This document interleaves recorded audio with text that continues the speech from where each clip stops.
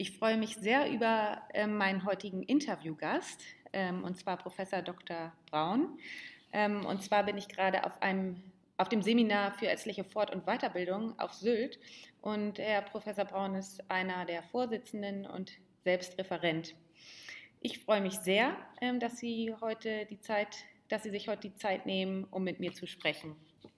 Vielleicht können Sie sich einmal persönlich vorstellen und ähm, sagen, was Sie machen mit allen Tätigkeitsfeldern, denn das ist ja eine ganze Menge und ich möchte nichts vergessen. Oh je. Also zum einen ist natürlich dieser, diese Fortbildungswoche, die wir einmal im Jahr machen, äh, gehört, äh, da ist mein Herzblut auch drin. Wir ähm, machen das seit vielen Jahren ohne Industrieunterstützung, was mir total wichtig ist. Die Referenten kommen ohne Honorar hierher und wir sprechen wirklich über die Themen, die uns Ärzte äh, angehen. Ich selber bin ursprünglich durchaus Akutmediziner, war lange Chefarzt in Hamburg an einer sehr großen Klinik über zwölf Jahre. Mich hat dann ehrlich gesagt die sehr große Ökonomielastigkeit äh, in meine jetzige Tätigkeit getrieben. Ich bin äh, aktuell ärztlicher Direktor und für die innere Medizin zuständig in der Klinik Mannhagen. Das ist eine orthopädisch-augenärztliche Fachklinik in Großhansdorf. Das ist in der unmittelbaren Nähe äh, von Hamburg. Und das Schöne an diesem Krankenhaus ist, dass wir keine Profite erwirtschaften können. Alles das, was denn auch mal übrig bleibt im DRG-System, wird investiert äh, in Personal, in die Baulichkeit, sodass ich da jetzt gewissermaßen meinen medizinischen Frieden gefunden habe. Ähm, ich, da war jetzt erstmal was drin, wozu ich noch mal was sagen wollte. Und zwar ähm, bin ich äh, ja hier ähm, Teilnehmerin des äh, Seminars und äh, bin auch total begeistert, muss ich sagen. Das ist das erste Mal, dass ich hier äh, teilnehme. Aber ich finde es sehr, sehr positiv, dass ähm, ähm, das eben sozusagen äh, eben nicht gesponsert wird und dass ähm, ja auch aus dem Publikum sehr teilweise kritische Fragen kommen und dass alles sozusagen auch teilweise hitzig diskutiert wird. Und das finde ich, ähm, das finde ich äh, wirklich auch gut, dass hier offen miteinander gesprochen wird und äh, dass man sich auch, also ich als, als äh, Berufsanfängerin auch traue, Fragen zu stellen. Das ist uns auch äh, total wichtig, der ärztliche Dialog. Wir haben viele Wiederholungstäter, äh, die immer wieder kommen und wissen, äh, dass wir nicht beißen und die ja alle auch viel Erfahrung haben. Also dieses Konzept von vielen Fortbildungen, äh, wir wissen alles und ihr wisst nichts und wir werden euch jetzt mal erklären, wie die Welt funktioniert, das lehnen wir eben ganz grundsätzlich ab und der äh, Dialog, das ist unser Ziel. Ja, das finde ich sehr, sehr schön, muss ich sagen. Und es sind auch wirklich interessante Themen dabei, ein sehr bunter Mix und ähm, ja, also für jeden etwas und äh, ich bin sehr, sehr positiv. Also kann ich nur sagen, kann ich nur weiterempfehlen. ähm, Jetzt wollte ich einmal besonders, ich äh, war ja äh, letztes Jahr bei Ihnen auf einer Fortbildung ähm, über äh, zu, ihr, zu, der Stiftung Arztgesundheit und da wollte ich jetzt nochmal besonders drauf eingehen. Da bin ich nämlich äh, sehr, sehr, also muss ich sagen, äh, total positiv aus äh, Ihren Vorträgen letztes Jahr herausgegangen und deswegen hatte ich Sie auch gefragt, ob Sie nochmal mit mir sprechen und ähm, ich wollte Sie jetzt einfach nochmal ganz einfach fragen ähm, zu der Stiftung Arztgesundheit. Was ist das eigentlich und wie ist das Ganze entstanden? Naja, wenn man lange berufstätig ist, dann sieht man immer wieder äh, um sich herum Ärzte, die sich um alles Mögliche kümmern, nur nicht um sich selber. Ähm, das geht häufig äh, gut, manchmal aber eben auch nicht. Und äh, mein Schläg Herz schlägt eben gewissermaßen für die äh, für Ärzte. Ich mag unseren Beruf, ich mag aber auch unsere, die Vertreter unseres Berufes. Äh, und ich finde es ganz tragisch, wenn ähm, die gewissermaßen ihre letzte Energie für die Patienten aufopfern, sich dann aber einfach nicht dazu bringen können, auch mal was für sich selber zu tun. Die Beschäftigung mit der Arztgesundheit, die geht schon viele Jahre zurück und die hat auch etwas mit diesem Kongress hier, mit diesem jährlichen äh, Treffen zu tun, weil wir schon vor vielen Jahren angefangen haben, immer auch einen festen Block mit dem Thema Arztgesundheit, in diesem Jahr auch das erste Mal Arzt- und Studierendengesundheit hier äh, anzubieten. Und das hat mir deutlich gemacht, wie riesig auf der einen Seite der Bedarf dafür ist, sich mit diesem Thema zu beschäftigen und wie auf der anderen Seite rudimentär die Strukturen, die Daten, ähm, die Auseinandersetzung mit diesem Thema äh, sind. Ich fing dann an, äh, zunächst mal Vorträge mit diesem Thema zu halten und es war eigentlich immer wieder die gleiche Situation, dass ich Kollegen dort mit offenem Mund sitzen hatte, die offensichtlich mit Dingen konfrontiert wurden, über die sie sich wirklich noch nie äh, Gedanken gemacht haben. Und äh, im Rahmen meines Wechsels von einer großen ökonomieorientierten Krankenhauskette in Hamburg ähm, habe ich mir gesagt, das ist doch jetzt eigentlich die Gelegenheit, ähm, diese Beschäftigung mit dem Thema zu bündeln und zu äh, institutionalisieren. Und da äh, kam dann auch noch ein freundlicher Patient dazu, der die Idee toll fand und äh, der uns unterstützt hat. Und dadurch äh, wurde dann die Stiftung gegründet, mühsames äh, Geschäft und viele, viele haben mir auch abgeraten davon, aber ich bin äh, ganz froh, dass wir diesen Weg gegangen sind, weil wir in dieser äh, Stiftungsstruktur letztendlich auch dauerhaft sicherstellen können, dass äh, wir mh, dann auch bestimmen, um welche Themen es dort geht, also nicht die Industrie, nicht eine Krankenhauskette, die das möglicherweise dann zum Marketinginstrument äh, machen will, nicht die Krankenkasse, sondern wenn wir etwas ändern wollen äh, auf diesem Gebiet, dann werden wir das nur selber machen können und deswegen eben auch diese Stiftung. Das war, da war jetzt ja ganz viel drin. Erstmal möchte ich ähm, vielen, vielen Dank dafür sagen, dass Sie da nicht aufgegeben haben, sondern an dem Thema drangeblieben sind denn äh, das Ergebnis sehen wir jetzt heute. Und ich äh, kann nur dazu sagen, dass es mir genauso ging letztes Jahr im November. Ich hatte noch nie vorher überhaupt äh, den äh, Begriff Arztgesundheit gehört, sage ich jetzt mal einfach so. Und das war das erste Mal, dass ich überhaupt ähm, darüber äh, äh, eine Fortbildungsveranstaltung ähm, be besucht habe. Und ähm, also es war, wurde halt das erste Mal für mich darüber gesprochen und ich fand das sehr, sehr interessant.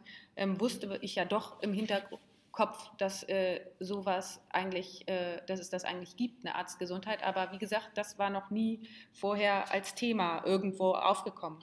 Das geht Ihnen auch nicht alleine so, sondern wir haben ja dann eine Homepage auch gemacht und es war wirklich kein Problem, äh, die Domäne www.arztgesundheit.de auch zu bekommen. Also offensichtlich waren wir tatsächlich mit die Ersten, die sich auf dieses Thema fokussiert haben. Ja, das finde ich wirklich interessant und ähm, äh, zeigt ja auch schon einiges. Ne? Ähm, wenn ich das jetzt richtig verstanden habe, also ist es Ihr Ziel eben die eigene Gesundheit in den äh, Fokus zu stellen, also die Arztgesundheit, die äh, Gesundheit der Ärzte und ähm, eben auch, ähm, weil äh, eben auch die Aufmerksamkeit, ähm, vorher hat sich eben keiner um die um unsere Gesundheit gekümmert, sage ich jetzt mal. Ähm, also erstmal auch zu informieren, eben äh, die äh, einfach darüber zu sprechen, ist ja erstmal der erste Schritt, was, äh, was, was äh, sie tun. Und ähm, natürlich auch ein Netzwerk zu bilden. Und ähm, eben auch das, was Sie gesagt haben, finde ich ähm, wichtig, unabhängig von Klinikkonzernen und von der Pharmaindustrie. Also sozusagen für uns einzustehen, selbst. Ganz genau, das entspringt letztendlich der Erkenntnisse und so hießen dann auch am Anfang äh, zunächst einmal die Fragestellung, sind Ärzte anders krank? Und mittlerweile kann man das Fragezeichen da wirklich durch ein Ausrufungszeichen äh, ersetzen. Ja, Ärzte sind eben anders krank als äh, Patienten und das muss man sich äh, immer wieder klar machen, zumal eben der Arztberuf schon ein besonders gesundheitsgefährdender Beruf ist, so paradox das klingt, aber es ist eben so. Ja, äh, ich selber äh, kann nur sagen, also da herrscht ja auch so ein Klischee vom unverwundbaren Helfer, oder? Also ist so ein, so ein Mythos Arzt, ähm, mm, so ein Idealismus. Äh, sehe ich das richtig? Ja, also dieses Gefühl der Unverwundbarkeit ist natürlich sehr praktisch, wenn man einem Patienten gegenüber sitzt, äh, der krank ist und dem man die bestmögliche Hilfe angedeihen lassen will. Aber für einen selber äh, ist das natürlich höchst gefährlich, weil äh, der Mythos natürlich Quatsch ist. Es gibt gar keinen Grund anzunehmen, äh, dass äh, Ärzte mit ewiger Gesundheit oder gar ewigem Leben gesegnet sind. Das ist nicht so. Die Lebenserwartung der Ärzte entspricht der von anderen Akademikern. Also wir schlagen da aus unserem Wissen kein besonderes Benefit, kein Benefit für uns heraus. Und das liegt eben daran, dass wir ganz bestimmte Verhaltensmuster haben, die eben durchaus kontraproduktiv sind. Ja, ähm, ich glaube, ähm, wenn ich für mich sprechen kann, man lernt es auch nicht anders. Also ich habe, äh, man lernt es schon im Studium, dass ähm, äh, man äh, fit zu sein hat und ähm, dass es eigentlich keine richtige Definition gibt, äh, wann man zu krank ist, um überhaupt äh, zu arbeiten. Da haben Sie ganz recht. recht. Also dieses Unfit for Work, das kann man natürlich beim Fußballer relativ klar definieren. Wenn das Knie halt zwackt, dann wird nicht trainiert. Ähm, viele andere Berufe haben da, glaube ich, auch sehr, sehr klare äh, Vorstellungen, wie das äh, zu sein hat. Aber wann ein Arzt tatsächlich zu Hause bleiben muss, das, diese Entscheidung bleibt in aller Regel dem Arzt selber äh, überlassen. Und ähm, das führt eben zu etwas, was wir äh, Präsentismus nennen. Präsentismus bezeichnet ähm, den Zustand, dass man krank ist auf der einen Seite, dass man aber trotzdem äh, zur Arbeit geht und versucht, äh, seine Pflichten zu erfüllen. Und da gibt es viele absurde Geschichten, die aus der Entfernung betrachtet dann auch äh, völlig äh, klar sind und wo sich jeder an den Kopf fasst und sagt, nein, so kann man doch nicht arbeiten. Wie zum Beispiel äh, ein, ein Chirurg, der während einer Operation dauernd auf Toilette musste, weil er eine Norovirus-Infektion hatte, dem aber selber gar nicht die Idee gekommen ist, dass das ja möglicherweise etwas ist, wo man dann vielleicht auch besser äh, zu Hause bleibt. Und dieser ärztliche Präsentismus ist sehr weit verbreitet und wird auch wenig reflektiert. Es macht halt Probleme natürlich für den Arzt selber auch, weil ein Richter, dem man erklärt, dass man mit 39 Fieber jetzt nicht mehr ganz zurechnungsfähig war, als man trotzdem gearbeitet hat, der wird einem dies nicht abnehmen. Aber es macht durchaus auch unseren Patienten äh, Probleme, wenn ein Arzt mit äh, Influenza äh, liebevoll seinen Patienten die Hand schüttelt, ähm, ihn anniest, anhustet dann äh, gibt es da auch ganz konkrete Gefährdungen für unsere Patienten. Ja, absolut. Und ich finde die Geschichte krass, muss ich sagen. Also mit dem Chirurgen, da äh, scheint ähm, eine Selbstwahrnehmung ähm, zu fehlen. Also wenn da ähm, eben das so vorliegt und er trotzdem arbeitet. Ich wollte noch mal ähm, kurz darauf eingehen. Also äh, der Arzt ist also, so wie ich das verstanden habe, ähm, ich weiß es ja auch aus eigener Erfahrung, ähm, selbst dafür verantwortlich, verantwortlich äh, zu gucken, wann äh, ist man zu äh, krank zu arbeiten. Es gibt also eigentlich keinen, niemanden, der einen krank schreibt. Oder es gibt natürlich auch keine Gründe, ähm, äh, jedenfalls so wie es im Moment aktuell ist. Da, ähm, äh, glaube ich, spielt auch noch mit rein, dass ähm, wir ähm, Ärzte auch Problem haben, damit die Patientenrolle zu übernehmen. Ähm, finden, also sehen Sie das auch so?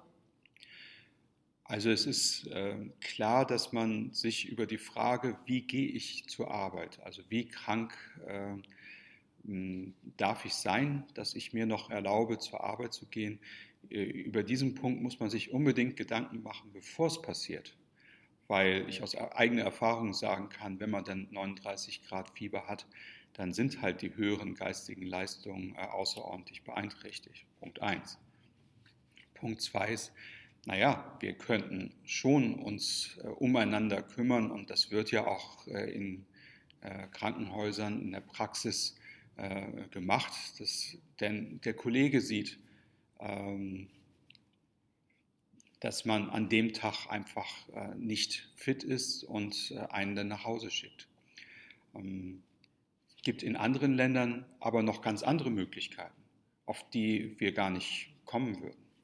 In Norwegen habe ich zum Beispiel ein System kennengelernt, in der in jedem Distrikt es einen Pool von Ärzten gibt, die für eine Vertretung bereitstehen. Etwas, was uns, glaube ich, völlig absurd äh, vorkommt. Aber was auf die Erkenntnis zurückzuführen ist, dass äh, Krankheit von Ärzten einer gewissen statistischen Wahrscheinlichkeit folgt. Und auf so eine statistische Wahrscheinlichkeit äh, kann man sich vorbereiten. Natürlich ist das schwierig, wenn man eine Praxis hat, vor allen Dingen, wenn man diese Praxis allein hat, wenn man die Termine voll ausgebucht hat, Patienten möglicherweise wochenlang auf einen Termin warten müssen, Patienten möglicherweise von weit her kommen, um äh, durch sie behandelt zu werden, ähm, die dann gewissermaßen im Regen äh, stehen zu lassen. Also muss man eben sehen, dass man dafür ähm, vorausplant äh, und eben sich selber auch ganz klare Richtlinien gibt, äh, wo man äh, eben sich selber für eine Gefahr erachtet für seine Patienten und dann, dann konsequenterweise auch zu Hause bleibt.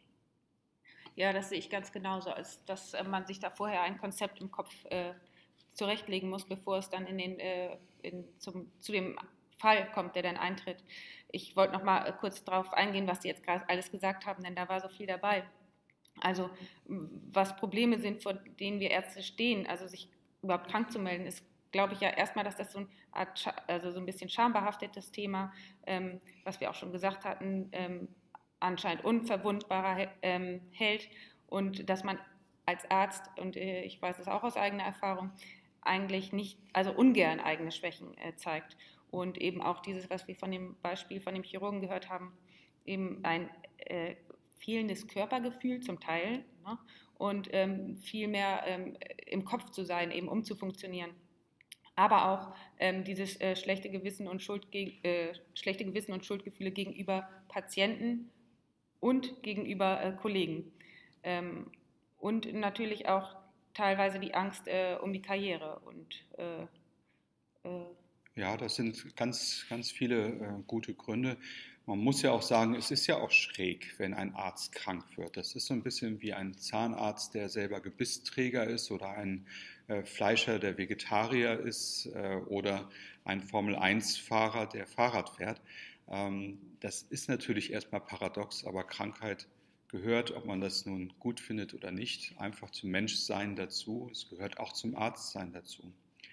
Nun ist es aber ja nicht nur so, dass wir Ärzte manchmal Schwierigkeiten äh, haben, uns das selber einzugestehen. Man muss sich auch ganz klar darüber sein, dass auch Patienten durchaus sauer reagieren können, wenn sie dann ihren Termin abgesagt bekommen, auf den sie sich lange vorbereitet haben, auf den sie vielleicht Hoffnungen gesetzt haben.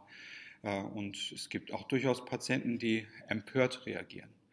Wenn man aber es schafft, mit der eigenen Gesundheit pfleglich umzugehen, dann ist es häufig dann im Gespräch auch viel leichter, ähm, dem Patienten ein solches Verhalten dann äh, nahezubringen. Und es gibt da sehr gute Studien, die zeigen, dass tatsächlich Ärzte, die sich um die eigene Gesundheit kümmern, Sport treiben, nicht rauchen, und eben auch mal zu Hause bleiben, wenn sie krank sind. Unter dem Strich die gesünderen Patienten haben als die Kollegen, die der Arbeit alles, was sie haben, opfern, sich gar nicht mehr bewegen, sich von Fastfood ernähren, damit es schneller geht und halbtot sich zur Arbeit schleppen. Ja, das finde ich ganz schön, dass Sie das sagen, weil das ist so ein schönes Bild, ähm, dass man eben auch äh, teilweise ja auch als Vorbild fungiert. Und ähm, gerade, ähm, also ich glaube, dass, äh, dass, dass das sehr wichtig ist. Ähm, erstens wollte ich das dazu sagen und zweitens finde ich das toll, dass Sie es nochmal sagen, dass eine große Rolle spielt, der offene Umgang mit den Patienten, also wirklich da, äh, zu erklären, ähm, warum ähm, man sich jetzt diese Pause nimmt oder warum man jetzt in dem Fall den Hausbesuch vielleicht nochmal um eine Stunde verschiebt, wenn man jetzt ähm, äh, den ganzen Vormittag äh, gearbeitet hat und äh, kurz, ähm, um einmal zu verschnaufen, eine Pause braucht. Einfach dieser offene Umgang mit den Patienten und einfach zu, zu erklären, weil ähm, es herrscht ja noch dieses, ähm, dieses äh, in den Köpfen jedenfalls der älteren Generation vor, dass ein Arzt immer verfügbar ist. Ja, also dieses äh, Albert Schweitzer Ideal, sich selber aufzuopfern, äh, für die Patienten, das steckt tief drin in unserer äh, Kultur, in unserem eigenen ähm, Selbstverständnis, ob das nun an der deutschen Romantik liegt oder äh, an etwas anderem, aber das gehört sicher zu einem ganz charakteristischen Wesenszug.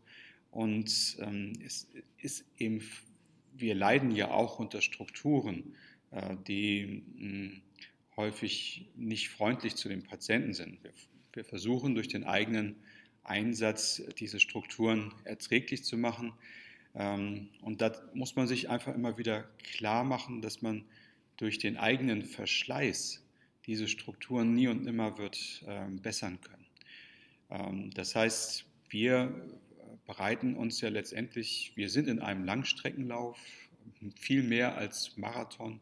Wir haben eine lange Lebensarbeitszeit, das wird auch nötig sein und äh, die müssen wir auch durchhalten bei, äh, wenn möglich, guter Gesundheit. Und da gehören dann eben einfach die Pausen dazu. Das mit der Erreichbarkeit, das haben Sie sehr schön gesagt, das war, glaube ich, früher schon schlimm, vor Dingen, wenn man auf dem Land gewohnt hat.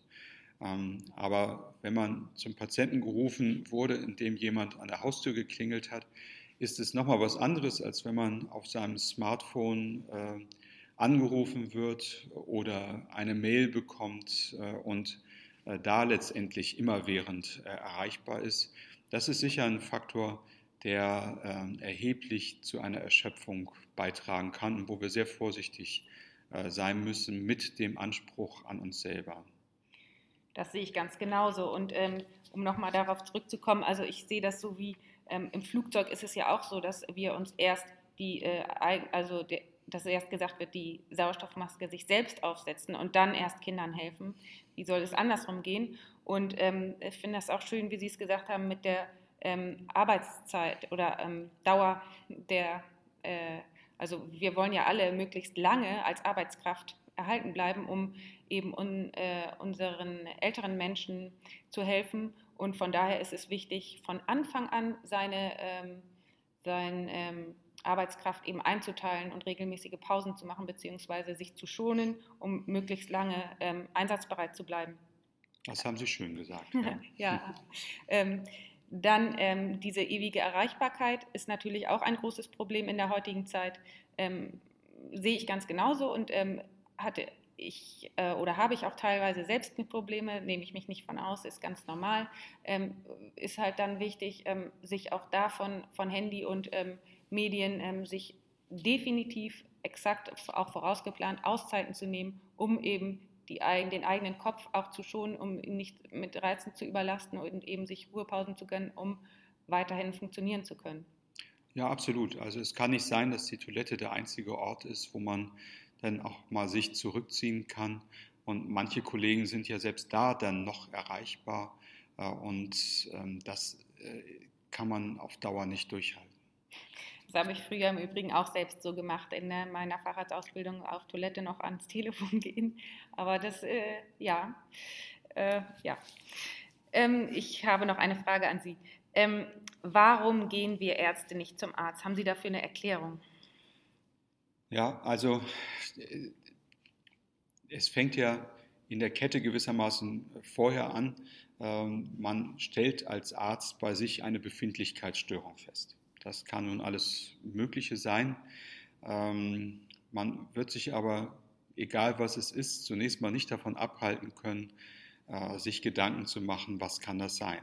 Und das unterscheidet uns eben genau von unseren äh, Patienten, dass wir ähm, durch das Studium hm, dort eine ganze Menge Ideen bekommen werden. Äh, gute und richtige, aber eben auch falsche.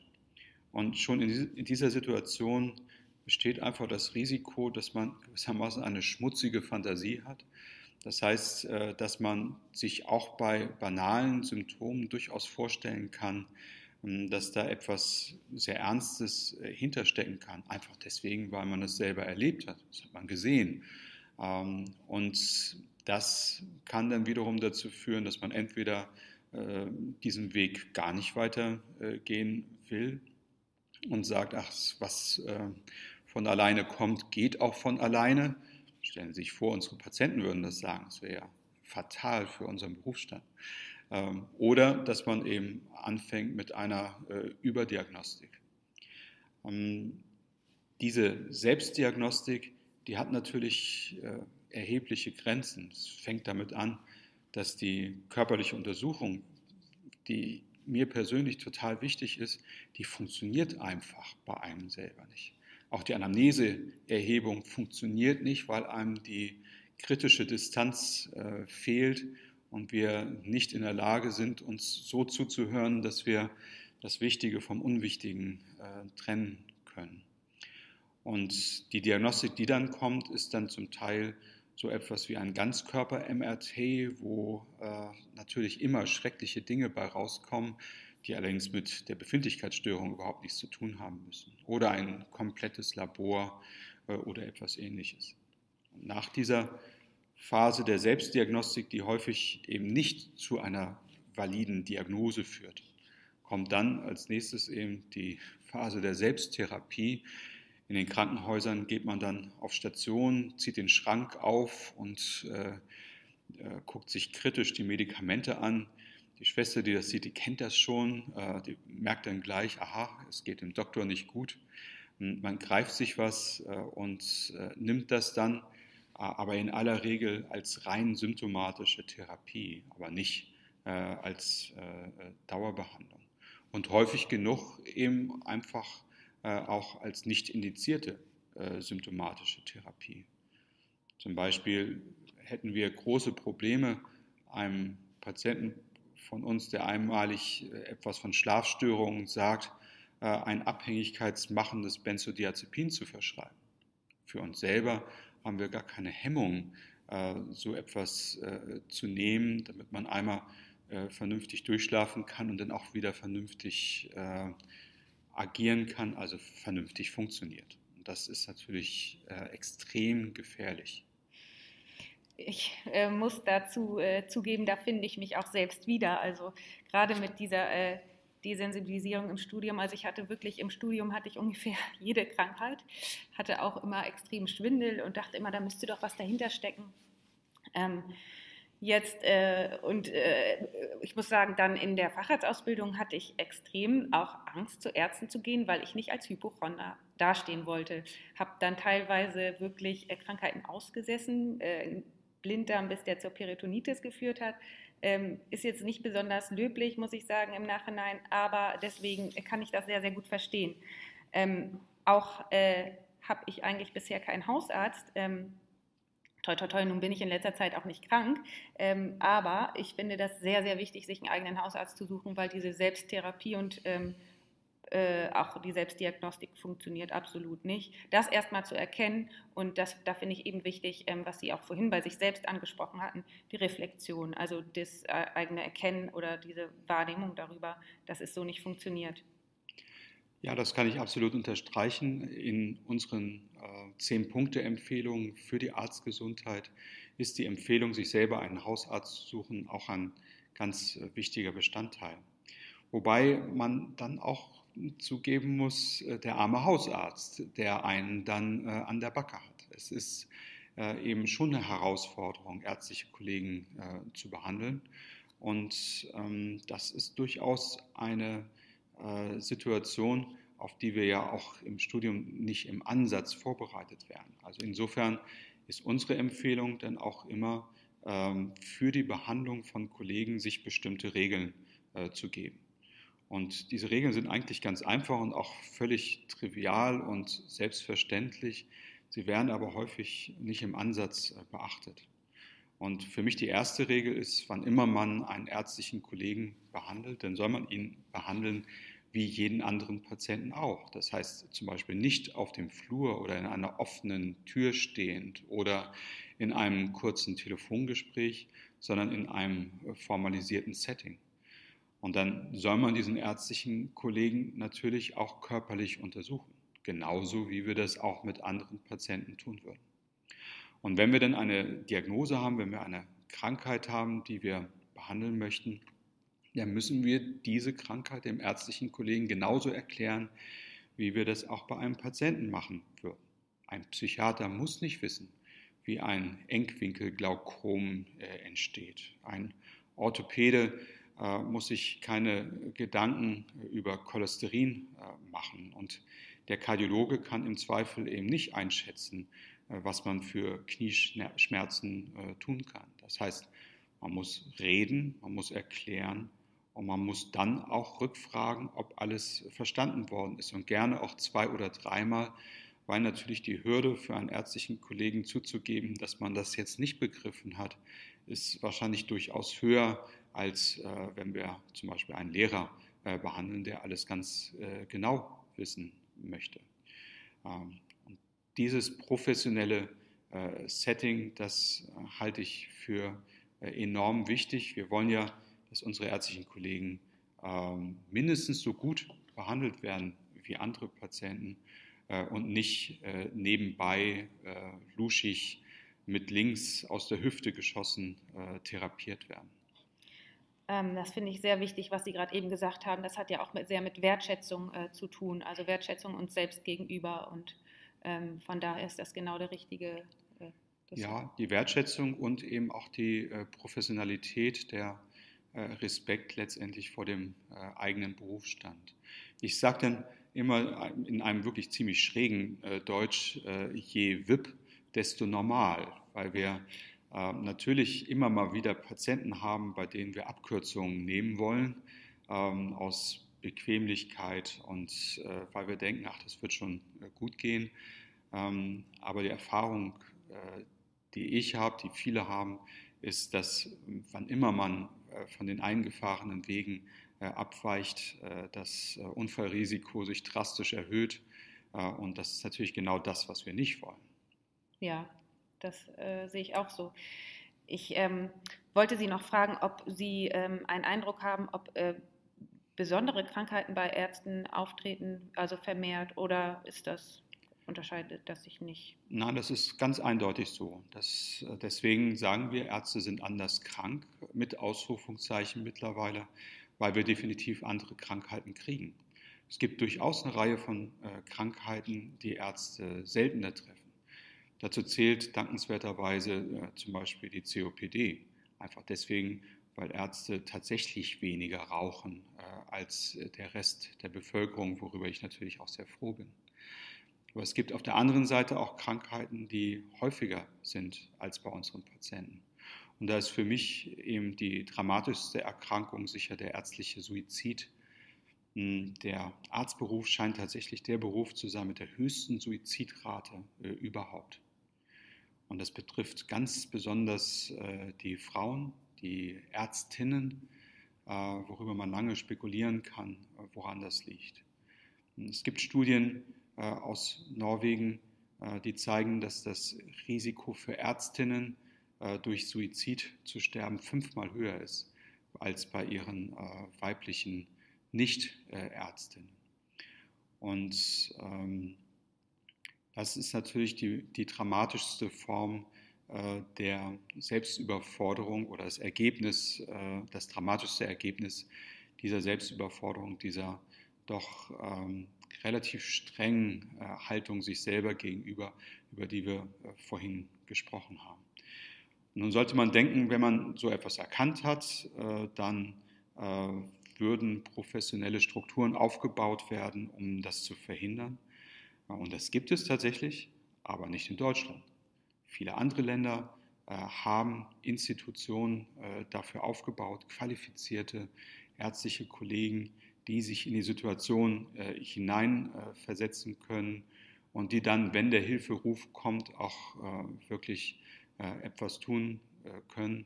Ähm, das fehlt bei uns tatsächlich äh, komplett. Und das können wir aus meiner Sicht so auch nicht lassen. Nee, da sehe ich, das sehe ich ganz genauso. Da ist noch ordentlich Handlungsbedarf, was das anbetrifft. Man kann sich ja Gedanken darüber machen, woran das eigentlich liegt. Äh, und ähm, aus meiner Sicht ist, das, ist der ärztliche Suizid zurückzuführen im Wesentlichen auf zwei äh, Komponenten. Das eine ist eben, ähm, wie ich schon gesagt habe, dieser äh, unbedingte Einsatz, die Bereitschaft, sich zu quälen, ohne die man ja durch das Studium gar nicht durchgekommen wäre. Äh, und das, was man an Energie äh, hat in sich, auch komplett einzusetzen. Das werden Sie in vielen Berufsgruppen natürlich nicht finden. Und dann ist es fatalerweise so, dass wir ja wissen, wie es geht. Das heißt, wir kennen spezifische Suizidstrategien äh, Methoden äh, und können diese, wie die Zahlen zeigen, dann offensichtlich auch erfolgreich anwenden. Ja, ähm, das äh, muss ich auch nochmal sagen, dass äh, mit der äh, Selbstaufgabe und der ähm, äh, Bereitschaft sozusagen äh, Leidens, äh, also zu, zu leiden, ähm, das in Kauf zu nehmen, das hängt so ein bisschen mit der, mit der Persönlichkeit oder wie kann man. Ja, das ist Ausdruck unserer altruistischen Persönlichkeitsstruktur. Das ist ja ein Stück weit auch gut, birgt aber eben einfach diese spezifischen Risiken. Ja. Und Neben dem Suizid gibt es noch eine zweite Krankheitsgruppe, die Ärzte in besonderem Maße betrifft und über die wir ungern reden äh, und die in der Öffentlichkeit, glaube ich, auch nicht so wahrgenommen wird. Und das sind die Abhängigkeitserkrankungen, die Suchterkrankungen. Hm, dabei ist es gar nicht so, wie man sich das denken würde, dass Ärzte nun alle morphinabhängig sind, weil sie ja nur in den Giftschrank gucken müssen und das äh, Morphium dort äh, liegt, sondern an allererster Stelle äh, steht eben auch bei Ärzten die Alkoholabhängigkeit. Und Alkoholabhängigkeit äh, bei Ärzten ist schwierig, schwierig zu erkennen, einfach aufgrund unseres äh, sozialen Status und aufgrund der Tatsache, dass wir eigentlich wenig direkte Vorgesetzte haben, die uns sowas dann aufs Butterbrot schmieren würden, was natürlich gut wäre. Ähm, auf der anderen Seite muss man ehrlicherweise sagen, werden wir auch durch unsere Patienten oft genug überschüttet äh, von, ja. mit Alkoholiker äh, aus Dankbarkeit. Äh, manchmal denke ich, vielleicht wollen sie uns auch loswerden. Das ist schwer, schwer ja. zu sagen. Ja. Wenn man denn ähm, als Arzt Alkoholiker ist, dann hat man tatsächlich ein Problem und früher drohte dann ja immer der Approbationsentzug. Ähm, und die Behandlung von ärztlichen Kollegen mit Alkoholabhängigkeit bestand im Wesentlichen aus dieser Strafandrohung. Also reiß dich mal zusammen, sonst kannst du nicht mehr als Arzt arbeiten. Da bin ich sehr froh, dass wir äh, in mehreren Ärztekammern, ich denke da zum Beispiel an Hamburg, ich denke an die Ärztekammer in Schleswig-Holstein, aber auch andere, äh, mittlerweile viel bessere Angebote äh, haben. Und immerhin, es betrifft äh, wahrscheinlich jeden zehnten Chirurgen äh, in seinem Leben äh, und natürlich auch äh, andere äh, Berufsgruppen. Also da äh, gilt es sicher mehr zu tun. Wenn man dann das Problem erkannt hat, ist das gar nicht so einfach zu behandeln, weil wir natürlich schon sehr raffiniert darin sein können, diese Problematik auch zu äh, verschleiern, äh, weil wir ja sowieso unsere Patienten auch immer äh, durch Gabe von irgendetwas versuchen, ja, besser zu machen und diese innere Griffnähe, wie Herr Stracke zum Beispiel äh, sagt, die ist natürlich in der Situation äh, fatal. Aber klar ist, dass wir wenn wir erkennen, dass ein ärztlicher Kollege eine Alkoholabhängigkeit hat, dass wir das äh, dann auch auf den Punkt bringen müssen, öffentlich machen müssen, äh, weil das sonst schlecht für den Kollegen ist, schlecht für seine Patienten natürlich, aber auch schlecht für unseren Stand, um den wir uns schon zu kümmern haben. Wir sind darauf angewiesen, dass wir eine positive Reputation haben, sonst können wir nicht ärztlich wirksam sein. Absolut, das sehe ich ganz genauso. Und ähm, ich äh, äh, wollte dazu noch sagen, dass das ja wirklich auch ein schambehaftetes Thema ist und ähm, dass ähm, eben auch, finde ich, zu dieser Persönlichkeit auch so ein bisschen der Perfektionismus gehört und deswegen auch die, das, die, äh, eben diese Scham, ähm, wenn man nicht so ganz äh, funktioniert, wie es eben einfach von oder wie man als Arzt zu sein hat. Ähm, ich wollte jetzt einmal darauf eingehen, Sie haben ja schon über so viele Lösungsmöglichkeiten gesprochen, was Sie alles äh, tun und was wir konkret tun können. Da ist einmal das Erste, eben über das Thema überhaupt zu sprechen, so wie Sie es äh, in der Stiftung tun, wie wir es jetzt hier in dem Podcast tun. Das finde ich ganz toll. Ähm, äh, eben auch die mh, Verwundbarkeit zuzugeben, offen darüber zu sprechen, ähm, Aufklärung, ähm, was Sie auch gesagt hatten, die klaren Vorgaben äh, des Arbeitgebers, ähm, wann äh, jemand zu Hause bleibt, ähm, Vorgesetzte eben auch als Vorbilder, ähm, das genauso machen oder eben äh, vorangehen. Und dann die Abkehr von dem Mythos als unverwundbarer Held. Dann aber auch, was Sie eben gesagt hatten, die gegenseitige Fürsorge, dass wir uns umeinander kümmern, dass wir, um, äh, dass wir statt ähm, äh, die Ellbogen aufzu, auszufahren, was wirklich nicht mehr notwendig ist, aufeinander aufpassen, ähm, dass wir uns einen Hausarzt suchen, ähm, uns nicht selbst behandeln und eben, dass ähm, die, das eben auch äh, Ärzte, aber auch das Pflegepersonal eben mehr wertgeschätzt wird, also dass wir uns selber nicht so äh, äh, schlecht behandeln. Und ähm, äh, wie ich das verstanden hatte, eben auch durch Achtsamkeit, durch äh, Übung der Selbstwahrnehmung. Ähm, und ähm, was haben Sie da konkret für Vorschläge, ähm, vielleicht am Arbeitsplatz, ähm, Angebote für Prävention oder woran denken Sie?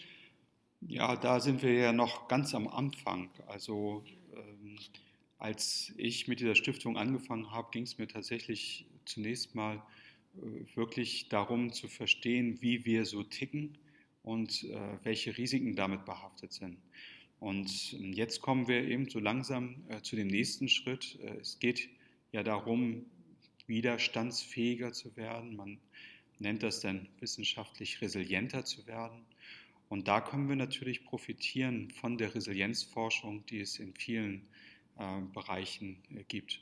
Und das fangen wir jetzt Schritt für Schritt äh, an äh, umzusetzen. In diesem Jahr hatten wir hierzu ein äh, wirklich tolles Angebot, auch bei unserer Fortbildung, wo es explizit darum ging, ganz konkrete ähm, Schritte für die Stärkung der eigenen Resilienz, der eigenen Widerstandsfähigkeit äh, zu machen. Und der Kollege Langs hat das ganz wunderbar gemacht. Hm, aus, dieser, aus diesem Angebot ist bei mir vor allen Dingen eine Sache hängen geblieben. Der Kollege verteilte Marzipanherzen, die natürlich gerne äh, gegessen worden sind, aber während äh, des Essens äh, erzählte er von faulen Fisch äh, und machte den Teilnehmern äh, deutlich, wie sehr das riecht, wie dieser Geruch an den Händen haften bleibt. Und der Genuss mit dem Marzipanherz war durchaus ähm, nicht bei allen dann noch gleich gut. Ähm, warum hat er das gemacht? Um uns eben deutlich zu machen, wie oft wir dann beim Essen sitzen und ohne mit der Wimper zu zucken, äh, wirklich über ähm, ja, die größten äh, unangenehmen Details äh, unseres Berufes äh, uns unterhalten. Und danach hat er uns dankenswerterweise die Gelegenheit geboten, denn ein Stück Schokolade in den Mund zu nehmen und es einfach zu genießen.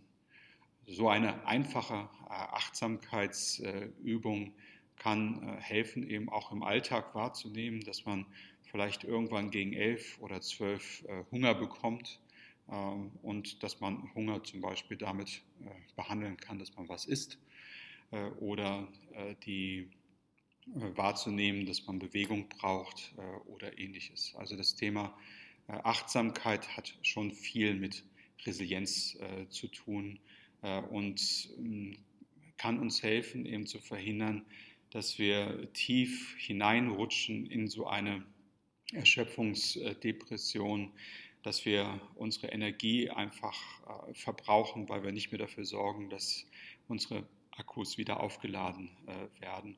Und da ist das eben ein ganz wichtiger Ansatz.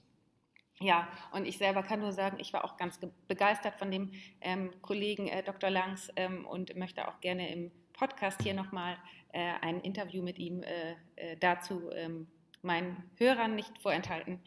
Ähm, ich möchte Sie noch fragen, ähm, was, also Sie hatten gerade eben schon ein bisschen was gesagt, was Ihre Zukunftspläne sind. Äh, hab ich, haben Sie da noch was vergessen? Kommt da noch was dazu? Also wir versuchen das, was wir an neuen Erkenntnissen äh, bekommen, immer auch äh, gleich auf unserer Homepage niederzulegen. Also die vielleicht nochmal www.arztgesundheit.de. Einfacher äh, es nicht.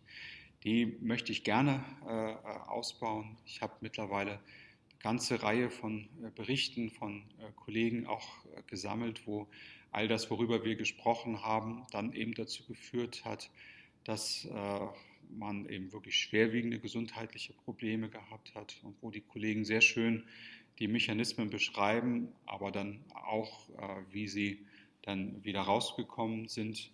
Das äh, möchte ich eben stärker dann auch äh, darstellen. Und ein Anliegen, und ich hoffe, ich finde die Zeit dazu und kriege die Gelegenheit dazu, ist eben diese ganzen Informationen, die ja nicht leicht zu finden sind, dann auch zusammenzustellen, vielleicht in Form eines Buches oder eben auch im Rahmen der Homepage. Ähm, das würde mich sehr freuen, äh, wenn wir das schaffen. Für mich aber das Allerwichtigste ist, ähm, dass äh, das äh, keine Show unserer Stiftung ist, an der neben mir ja auch Professor Gerd Witte, Radiologe aus Hamburg und Frau Professor Mariam Klusch, Mikrobiologin aus Bremen, teilnehmen, sondern dass wir im Schneeballsystem äh, diese Ideen äh, eben äh, weitergeben. Und deswegen bin ich auch sehr dankbar, dass Sie mir hier im Rahmen dieses Podcasts Gelegenheit bieten, genau dafür zu werben. Ich habe zu danken für Ihren Einsatz hier in, in allem, was Sie tun ähm, für uns Ärzte und ähm, möchte noch hier an der Stelle einfach fragen, wie wir Sie und ähm, Ihre Arbeit unterstützen können. Nun, wir sind eine Stiftung, wir sind auch als gemeinnützig äh, anerkannt äh, und äh, Sie können unsere Arbeit ganz konkret unterstützen, äh, indem Sie spenden. Das muss kein großer Betrag sein, Sie bekommen eine äh, Spendenbescheinigung. Und darüber würde ich mich sehr freuen, weil das auch deutlich machen würde, dass Sie ähm, die Dringlichkeit äh, dieses Anliegens genauso sehen wie ich. Und das wäre einfach eine Ermunterung auf diesem Weg dann auch weiterzugehen. Okay, dann danke ich Ihnen sehr für das nette Gespräch. Sehr gerne.